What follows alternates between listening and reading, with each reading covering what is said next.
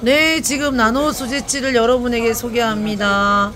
어, 제가 뭐 1, 2주 전부터 계속 팔고 있기는 한데 얘가 얘, 이, 나, 이 찌의 사양을 보면 27cm에 3.5, 4.7, 5.8g이 있고 길이가 다 있죠. 그람수가 다 있습니다. 찌가 관통형이에요.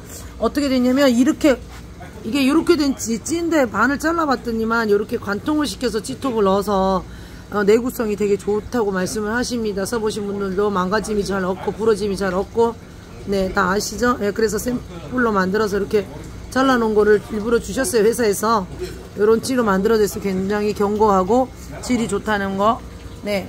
이게 지금 장찌와 단찌와 중간찌들이 있거든요. 여기 보시면 또 그람이 3.5g, 4.7, 5.8g 은근히 짧으면서도 무게가 나가요. 그리고 이게 소세지형이라 여러분이 다 선호하는 모양이에요. 이걸로 올림, 내림, 뭐 옥내림 다 가능하죠.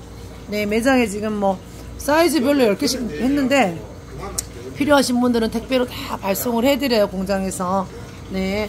네, 요게 소비자가가 이게 만원짜리예요. 만원짜리인데 질이 정말 만원에 상당하는 좋은 가격, 좋은 질로 갖고 있거든요.